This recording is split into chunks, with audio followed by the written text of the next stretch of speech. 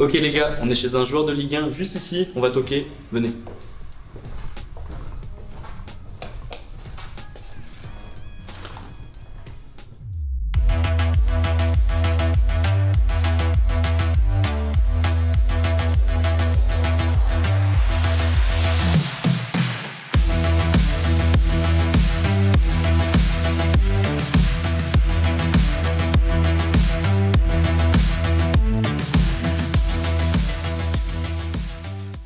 Salut VFA, c'est Maxime Estelle. Ça va, Bienvenue chez moi.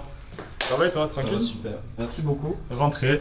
Ok les gars, vous l'avez sûrement remarqué, je suis chez Maxime Estève, défenseur central de Montpellier. Pour ceux qui ne connaissent pas, est-ce que tu peux te présenter en trois mots Bah, du coup, bah, Maxime Estelle, 21 ans, défenseur central de Montpellier. Ça fait, ça fait maintenant, ça va, je vais attaquer ma troisième saison en Ligue 1. Donc, euh, donc voilà, sinon, euh, sinon pas plus. Hein. Magnifique. C'est ça, ça suffit. T'as t'as quelques maillots je crois? Ouais, quelques maillots. Je vais essayer de vous montrer un peu tout ce que j'ai. Bon, là, c'est un peu en bordel. Mais euh, je vais vous montrer un peu tout ce que j'ai, un peu l'histoire de chacun. Et puis, et puis voilà. Et puis c'est parti. Exactement. Vas-y, let's go.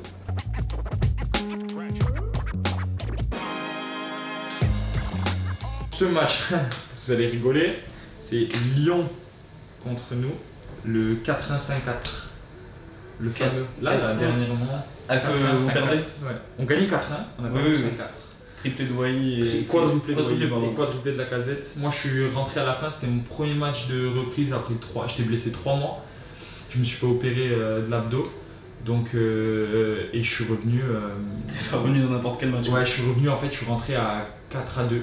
Je rentre, on prend un but direct, 4-3. Et après, il y a 4-4. marré, ouais. Un- horrible. Franchement, c'était horrible. Non, je crois que je rentre à 4-3 même. Ok, ouais.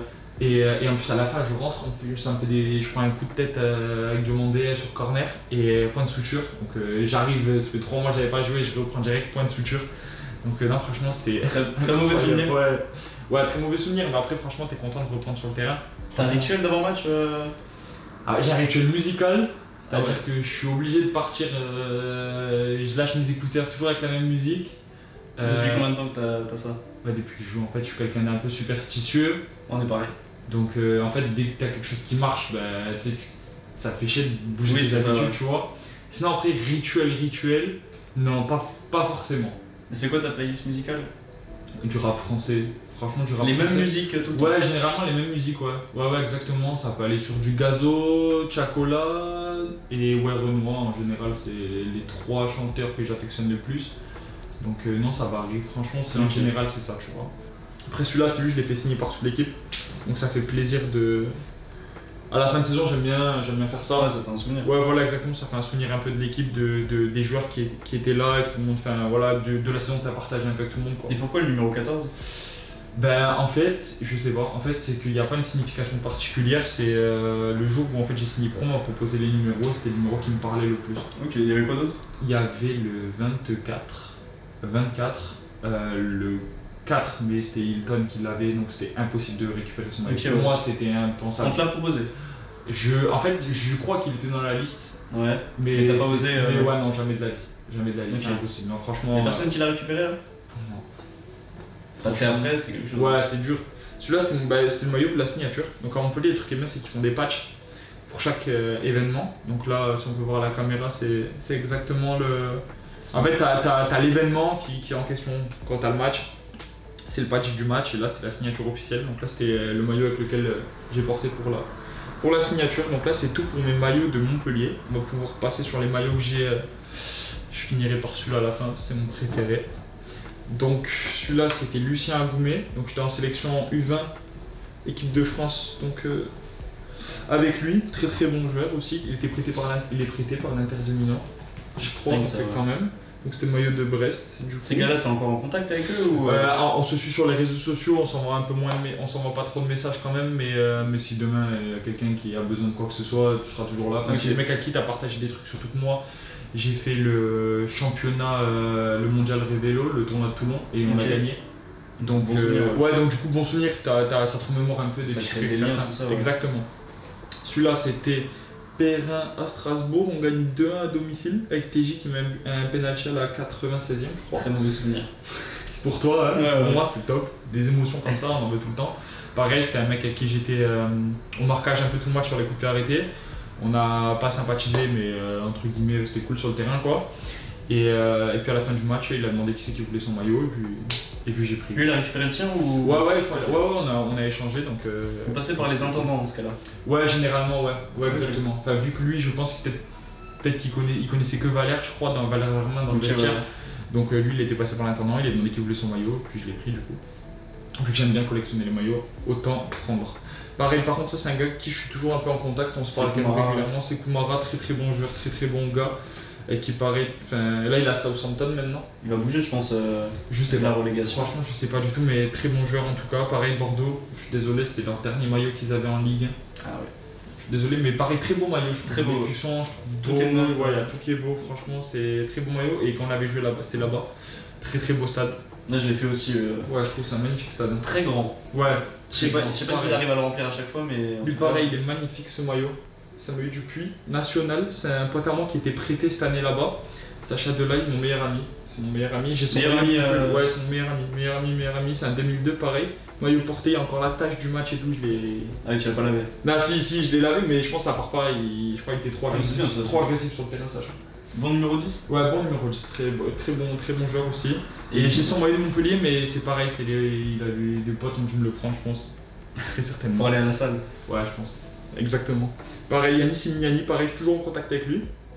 Un joueur de Ajaccio qui maintenant a signé à Lausanne. Ah non, à Lausanne, pas, à Lugano. Lugano. Lugano, euh, c'est en, en, Suisse, quoi. je crois. Putain, sont. Je crois qu'il a signé là-bas. C'est pas. Pareil, je trouve beau maillot quand même aussi, Ajaccio. Ouais, Ajaccio, c'est toujours, euh, sympa.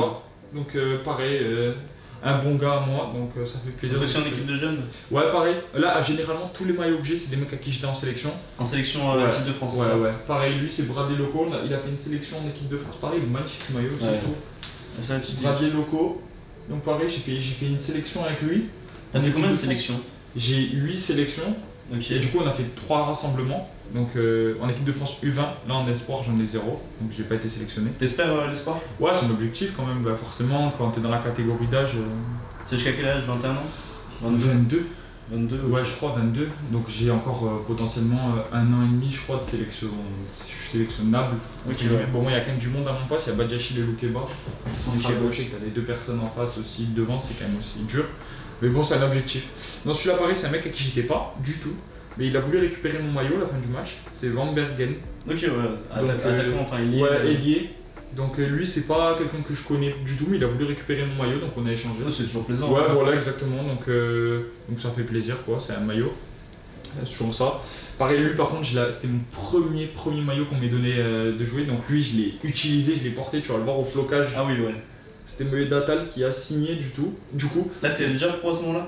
Non, pas du tout. Là, quand il me l'a donné, j'étais en réserve. C'est mon première année réserve. Du coup, c'était un des premiers maillots avec Jonas Martin que, que je récupérais. Du coup, Tu bah, récupérais comment euh, Via des. C'est mon, agent, mon ancien agent. Avant, on avait, un, on avait un agent en commun, j'ai changé de- depuis. Mais du coup, il me l'avait- il me l'avait donné, j'étais grave content. Du coup, voilà. Euh, Celui-là, c'est Lou, bah, du coup Loukeba. Castello, voilà. Bon joueur, très bon. Ouais, joueur. très très bon joueur. Franchement, très très bon joueur. Pareil, su- bah, après Lyon, franchement, ils font rarement des faux pas sur les maillots, je les trouve très très beaux. Même celui Lui, c'était celui l'année dernière. Celui-là, c'était celui l'année dernière. Donc, euh, pareil, mon gars, j'ai le maillot de Barcola aussi. Ok, Et ouais. pareil, c'est un de mes potes qui a dû le récupérer. Donc, je sais c'est aussi, aussi équipe de jeunes. euh, Ouais, Loukeba, équipe de jeunes, hein, sauf que lui, il a fait qu'une sélection avec en U20 Ok. et après il était tout le temps avec les espoirs. Donc euh, ouais. lui, il est direct passé un step. Moi, j'ai juste fait une sélection avec lui. On a sympathisé, c'était cool. Donc euh, maintenant, bah, on s'était recroisé sur le terrain, on a échangé les Oui, maillots. Même avant, sur les recos pelouses, on discute, etc. Ça fait du bien Ça, pour ça voir se euh, taquine un peu par euh, message avant les matchs? Non, non, franchement, non. Non, non, pas trop. Franchement, non, non, pas du tout. Pas du tout. Ça, je franchement, pensais à chaque fois, je me dis, tu vas Non, un non, peu, ça tu un va. petit message. euh, Non, ça va, ça va. Franchement, ça va. Pareil, Tierno Baldé, lui pareil, on a gagné le tournoi ensemble. Maintenant, il est à 3, il était au Havre l'année ouais. dernière, prêté par le- il était prêté par le PSG. Du coup, bah voilà, pareil, on avait gagné 1-0 là-bas, j'avais échangé avec lui. Voilà. Et pareil, un dernier joueur à qui j'étais en sélection avec, c'était Christian Matsima, c'était un maillot un peu atypique, ils avaient. euh, Ah oui, là, c'est le flocage comme ça. Et, euh, et devant, c'était un maillot spécial, je crois, pour Oh. leur ville, en honneur de leur ville, je sais pas. Voilà, là, savoir lire le breton. euh. Ouais, et euh, j'avais récupéré aussi le même, mais de Johan Kathleen, sauf que celui-là, en fait, ben, le, le musée Louis Nicolin, il voulait le récupérer. Ok, ouais. Du coup, bah, je l'avais laissé au musée parce que bah, du coup, c'était un maillot collector. Du coup, bah, le musée il le voulait. Du coup, c'est difficile de dire non au musée de, de Louis Nicolas, l'ancien président d'ailleurs. Il prend beaucoup de place, Louis Nicolas, même s'il est plus là encore à Montpellier. Ouais, énormément. En fait, t'as toujours, euh, t'as toujours un peu bah, son, son ADN. De toute façon, c'est bah, c'est son fils qui est le président. Ok, maintenant. ouais, ouais, ouais. Donc forcément, bah, t'as toujours, il est toujours là. Enfin, tu le sens quoi. C'est toujours l'ADN du club. C'est toujours un club très très famille. Donc, euh, Toi, t'as eu le temps de le côtoyer un peu ou lui non, ou pas j'ai Non. pas du tout eu cette chance-là. Donc, euh, donc non, non, franchement, pas du tout. Mais j'ai dommage, franchement, dommage parce que c'est quand même quelqu'un. Mais t'as vu son musée? Ouais, son musée, c'est Et ça se fait en voiturette? impressionnant. Ouais, ça se fait. Nous, on l'a fait en marchant. Mais ça peut se faire en voiturette, mais il y a des maillots, c'est impressionnant. Ça va de. Il y a tout. Tous les joueurs, c'est de tout. de Messi. Ronaldo qui. Messi, Ronaldo, Pelé, Maradona, tous Oh. les joueurs qu'il y a. Il y a même, je crois, il a trois maillots de Pelé, je crois, ou deux maillots de Pelé. C'est. Putain. Là, c'est incroyable. Mais vous l'avez visité, c'est vous qui l'avez demandé ou c'est une visite Non, en de la fait, c'est que, l'équipe c'est que quand on fait des repas euh, au club, euh, ensemble, d'équipe, avec le président, c'est le président qui organise. Et on les fait au MAS Saint-Gabriel. Et en fait, le MAS, c'est au MAS où il y a tous les, le, le musée. Et du coup, ben, à table, ils nous ont dit est-ce que vous voulez visiter le musée? Moi, je l'avais jamais visité. Du coup, ben, on l'a- ben, c'était cette année en plus. C'était chaud Ouais, c'était incroyable. Franchement, dès qu'on m'a dit euh, vous pouvez le faire, je l'ai fait direct. Et puis derrière, mon maillot préféré d'un de mes joueurs préférés, si ce n'est mon joueur préféré à l'époque, Giorgio Chiellini, signé d'ailleurs, qui a un maillot de Ligue des Champions, euh, qui était porté, je crois, contre le Zénith Saint-Pétersbourg, si je dis pas de bêtises. Donc Ouais, le euh, patch, on voit ouais. le patch avec le truc euh, respect. euh, donc magnifique maillot, franchement, j'ai eu la Donc un signature. exemple pour toi? Ouais, bah ouais, quand on voit. Parce qu'en fait, je me. Pas je me. Enfin, c'est un peu un exemple parce que quand il était, quand il était jeune, il était latéral gauche, j'étais latéral gauche et c'était quelqu'un sur qui euh, les gens comptaient pas trop. Toi, on connaît pas beaucoup sur toi? Non, j'étais. En fait, j'étais très très grand. Ok, et je jouais ouais. latéral gauche, je faisais 1 mètre, bah, je fais 1m93 et je jouais sur le côté gauche. Tu sais, moi, je savais que mon plafond c'était N3, N2. Ah ouais? Parce que sur le côté, quand t'es aussi grand, tu vois pas un latéral gauche qui fait 1m93. Donc toi, pendant- ta formation, tu disais pas je vais devenir Non, franchement, en fait, c'est que même j'étais réaliste par rapport à mon niveau. J'avais le niveau, je, je jouais des matchs titulaires, j'étais remplaçant des fois, mais j'étais pas un cadre de l'équipe. Ouais. Même dans toutes les équipes de jeunes, j'en suis conscient, tu vois, j'étais, j'étais bon, j'étais bon, moyen, excellent. voilà, moyen plus. J'étais plutôt, ouais. voilà, moyen, je faisais ce qu'il y avait à faire, mais pas transcendant. Sans excès, ouais. Ouais, pas transcendant. Et euh, puis au final, on va passer latéral, on va passer central gauche sur un match amical. Et au final, là, J'ai cru lire, c'est Romain Pito qui a fait ça? Romain Pito, ouais. Ancien Ouais, joueur. ouais, euh, ouais. Bah, du coup, qui nous a entraîné cette année. Bon, euh, il y, a eu des- il y a eu des résultats qui étaient compliqués, c'était une très mauvaise passe, donc euh, ça a été compliqué. Mais euh, non, franchement, c'est quelqu'un euh, sur qui, bah. Tu dois. Ouais, bah ouais, franchement, tu, tu dois beaucoup parce qu'au final, c'est grâce, enfin, c'est, c'est grâce à ça que aussi ma carrière a été lancée. Parce que si j'avais jamais changé de poste, euh, peut-être que je serais là en train de te parler, quoi. Et que bah, je ferais un travail, euh, je, ferais, je, ferais, je ferais pas forcément. T'as bossé plus jeune? La C'est-à-dire plupart, il y en a qui ont fait un- une carrière un peu atypique, qui ont bossé jeune euh, à côté de la Non. formation de foot. Non, non, pas du tout. Non, non, bah, j'ai eu mon bac, j'ai eu mon bac ES avec mention. Et, ouais. et, j'ai fait ce que j'avais à faire, ma famille voulait que j'ai le bac et moi je l'ai eu. C'était la condition pour euh, Total euh, Focus Non, foot non, mais on va dire que mes parents étaient exigeants avec moi sur, euh, sur la scolarité, donc euh, en vrai, au final, je pense que c'est toujours un plus, parce que le foot, on sait jamais de quoi fait, oui. même si demain, euh, même si pour l'instant ça se passe plus ou moins bien. et tout va bien. Voilà, exactement, mais demain, t'es pas à l'abri que t'aies une grosse blessure et que le foot, c'est bah, c'est- quand même éphémère, tu fais pas ça jusqu'à Oui, la fin de ta vie, quoi. Donc euh, c'est bien au moins d'avoir une base, donc maintenant, je sais qu'avec le bac, tu fais pas grand chose Ok, ouais, ouais. qu'avec le bac. oui. Non, mais t'as capté. Oui, ouais, mais tu fais rien sans le bac. Voilà, exactement, mais tu fais encore moins sans bac. euh, Oui, c'est ça, ouais. Du coup, voilà, c'est tout bon en termes de maillot. Je pense que c'est déjà pas mal. Je suis content. À 21 ans, mon but c'est d'avoir une Bah. grosse collection euh, plus tard. Parce que ça fait plaisir, toujours des souvenirs que tu partages avec C'est les gars. t'as joué. Ouais, franchement, ça fait Nous, plaisir. passionnés de maillot, pour ça, Ouais, moi je kiffe, franchement, je kiffe. Donc, euh, je, les, je les donnerai pas, je les vendrai jamais. tu m'étonnes. ouais. Je les garderai. Que des bons souvenirs, ouais. Ouais, Tu exactement. C'est des ça trucs que tu diras, ouais, ben, à 35 ans, 40 ans, ah bah tiens, celui-là c'était pour telle occasion, celui-là c'était telle occasion, c'était telle personne, telle personne. Donc, non, ça fait plaisir. Après, je sais que la sélection en équipe de France, ça m'a fait quand même connaître. Bah, du coup, ça te, fait, ça te crée des liens avec certains mecs que tu retrouves après sur le terrain. Mais euh, non, franchement, c'est cool. Ça fait plaisir, quoi. C'est des petits trucs, c'est des moments en fait que tu te rappelles. Oui, c'est ça, ouais. Et tu pourras retracer ta carrière avec ça. Ouais, exactement, tout à fait. Donc, euh, plus je peux en gratter, mieux c'est. Mieux, c'est, ouais. Ouais, exactement. Je vous ai montré ma collection de maillots, maintenant je vous montre ce que c'est une, prépara- une préparation physique pour, euh, pour attaquer la saison pro.